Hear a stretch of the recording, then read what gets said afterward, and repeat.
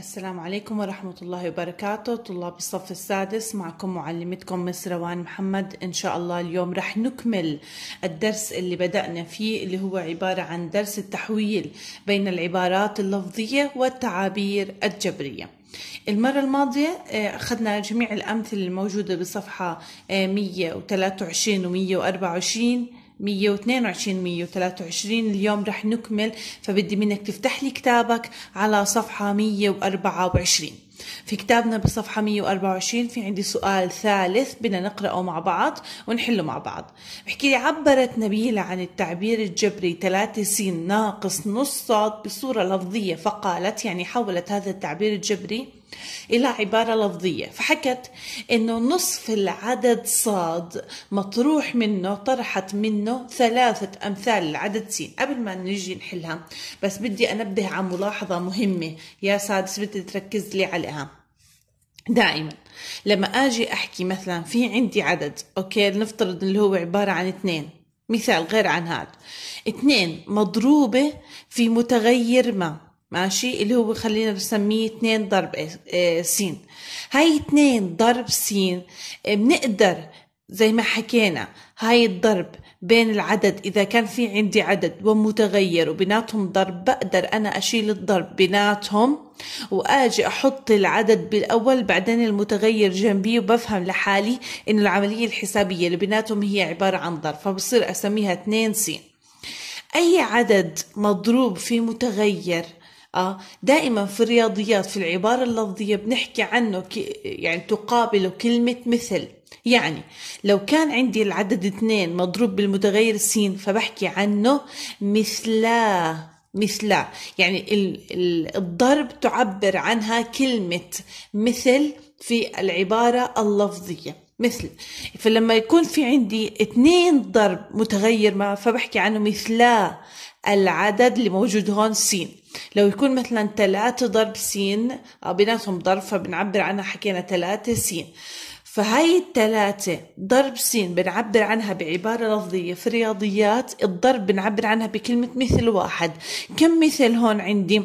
ثلاثة. إذا بحكي ثلاثة أمثال س العدد س لو كان مثلا عندي أربعة س بحكي أربعة أمثال عدد س إذا كلمة أمثال أو كلمة مثل في العبارة اللفظية في الرياضيات تعبر عن عملية الضرب بين العدد اللي بحكي عنه وبين المتغير اللي بحكي عنه. إذا ثلاثة س هي عبارة عن ثلاثة أمثال الضرب حكينا هي عبارة عن كلمة مثل فثلاثة لأنها جمع بصير أحكي ثلاثة أمثال العدد س أو المتغير س إذا يلا نيجي نحول هاي العبارة الجبرية ثلاثة س ناقص نص بصورة لفظية بحكي إنه نبيلة عبرت عنها إنه نصف العدد صاد مطروح منه ثلاثة أمثال العدد س عشان نعرف إذا حلها صح ولا لا بدي آجي أنا أحلها وأقارن إجابتي مع إجابتها وإذا كانوا نفس بعض بحكي عن حلها صحيح.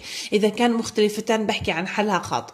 يلا خلينا نيجي نحولها إحنا لحالنا. هاي العبارة الجبرية إلى عبارة لفظية. شو يعني ثلاثة س يعني ثلاثة ضرب س وهلأ حكينا الضرب في الرياضيات بنعبر عنها بكلمة مثل.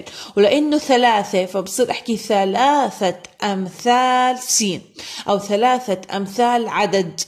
العدد س إذا لازم أجي أحول هالتعبير الجبري بحكي ثلاثة أمثال العدد س ما له هالثلاثة أمثال العدد س طرح شو حكينا المرة الماضية بنعبر عن طرح في الرياضيات مطروح منه. إذا نحكي عنه في الرياضيات الطرح هو عبارة عن كلمة مطروح منه.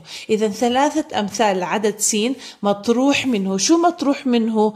نص. نص يعني نص أو بنحكي عنها نصف. طيب إذا ثلاثة أمثال عدد س مطروح منه نصف نصف مين اللي مطروح منه؟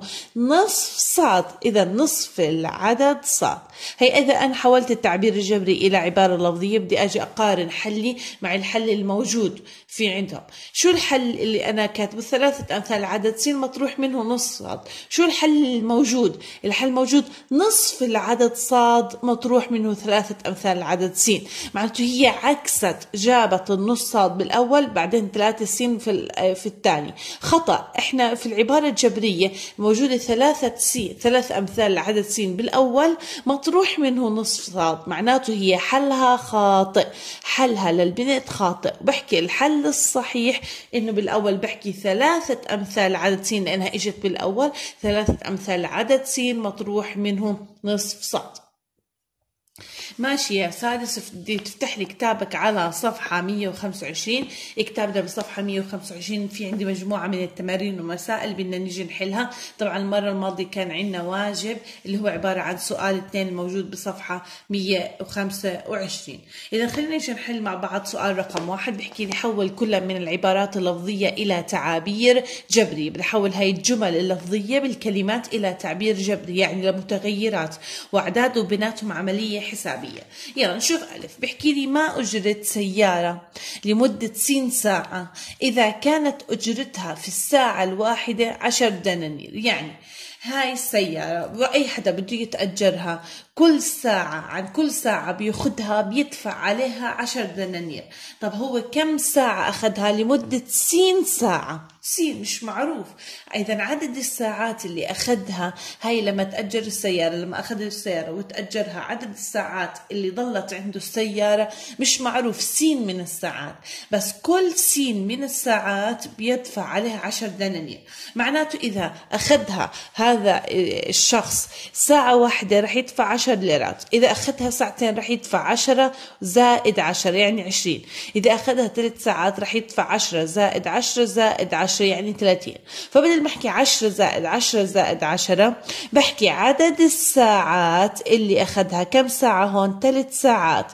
في سعر الساعة الواحدة ضرب سعر الساعة الواحدة يعني 3 ضرب 10 اللي هي عبارة عن 30 إذا بتصير عبارة عن 3 ضرب 10 اللي هي عبارة عن 30 إذا فبدل ما يكون عندي عدد ساعات معين وأقعد أجمع عدد الساعات كل مرة 10 زائد 10 زائد 10 مثلا لو كان عندي أخذها أربع ساعات فبحكي 10 زائد 10 زائد 10 زائد 10 اللي هي عبارة عن 40 دينار رح يدفع. فبدل ما أحكي 10 أجمعها أربع مرات بحكي 10 ضرب أربعة لأنه كل ساعة بدفع عليها 10 دنانير وكم ساعة عندي؟ عندي أربع ساعات. إذا 10 ضرب أربعة معناته أجرة سيارة لو كانت سين من الساعات عدد معين من الساعات اللي هي عبارة عن مقدارها بحكي عدد الساعات ضرب أجرة الساعة الواحدة. يلا كم عدد الساعات اللي أخذ فيها السيارة؟ شو حكي لي؟ سين من الساعات. إذا سين. ضرب. كم أجرة الساعة الواحدة عشرة دنانير؟ إذا س ضرب عشرة. حكينا يا إما بعبر عنها س ضرب عشرة أو بشيل إشارة الضرب فبكتب العدد دائما بالأول بيجي العدد بالأول بعدين المتغير بالثاني وما بكتب إشارة الضرب وبفهم لحالي إنه بيناتهم ضرب فبعبر عنها بعشرة س نكمل يا سادس نشوف في رعبة. بحكي لي مساحة مثلث قائم الزاوية. إذا إحنا بنحكي عن شو؟ عن مساحة. مساحة مين؟ مساحة مثلث. زي المرة الماضية لما حكينا عن محيط المربع وعن مساحة المربع معناته لازم أكون حافظة قانون مساحة المثلث معناته بدك تحفظه يا سادس. إذا رح نكتب جنبيها حفظ ونيجي نكتب قانون مساحة سوري مساحة المثلث. قانون مساحة المثلث بدنا نحفظه اللي هو عبارة عن نص ضرب القاعدة ضرب الارتفاع. وللعلم هاي القانون أخذتوه بصف خامس. إذا نص ضرب القاعدة ضرب الارتفاع. طب السؤال هذا يعني نص ضرب طول القاعدة ضرب الارتفاع. يعني لو كان في عندي مثلث زي ما هو مرسوم هيك هذا مثلث قائم الزاوية هاي اسمها القاعدة إله. هذا اسمه الارتفاع. إذا قانون مساحة المثلث هي عبارة عن نص ضرب القاعدة يعني إذا كان في عندي آه، مقدار طول معين للقاعدة بعوض مكان القاعدة بالعدد. مثلا كان 3 سنتي بحكي نص ضرب 3 سنتي ضرب الارتفاع مثلا 4 سنتي نص ضرب 3 ضرب 4 بس واضح من السؤال إنه مش حاطط لي لا قيمة القاعدة ولا قيمة الارتفاع. فبخلي القاعدة مكانها فاضي والارتفاع مكانها فاضي. نص ضرب القاعدة ضرب الارتفاع معناته القاعدة مش معروفة والارتفاع مش معروف. إذا يا بحكي لهم نص ضرب. القاعدة مش معروف نفترضها متغير س والارتفاع مش معروف نفترضه مثلا المتغير صاد إذا نص ضرب س ضرب صاد. ممتاز يا سعد الحد لون. نيجي نشوف فرع ج فرع ج بحكي لي كلمة الفرق وإحنا حكينا المرة الماضية كلمة الفرق تعني في الرياضيات طرح. إذا راح يكون العملية الحسابية طرح. طرح بين مين ومين؟ بين مربعي مربعي عددين. معناته بدي أمسك العدد الأول أربعه وأمسك العدد الثاني أربعه بعدين أطرحهم من بعض. وإحنا حكينا المرة الماضية شو يعني كلمة مربع. شو يعني كلمة مربع؟ مربع يعني مرفوع للقوة 2 إذا كلمة مربع يعني مرفوع للقوة 2 إذا بدي أمسك العدد الأول وأربعه. مثلا العدد الأول معروف شو هو؟ لا لنفترض أنه هو عبارة عن سين. أربعه شو يعني حكينا أربعه يعني أرفعه للقوة 2 إذا س تربيع. وشو حكينا العملية الحسابية؟ طرح. ناقص عدد ثاني. بدي أمسكه لنفترضه هو صاد لأنه مش معروف عندي شو هون وأربعه شو يعني أربعة يعني أرفعه للقوة 2 إذا س تربيع ناقص صاد تربيع. إذا يا مس شو الفرق حكينا يعني طرح بين مربعي عددي مربعي عددين يعني العدد الأول ربعته والعدد الثاني ربعته. إذا العدد الأول لأنه مش معروف س قوة 2 أو س تربيع ناقص العدد الثاني صاد قوة 2 أو صاد تربيع.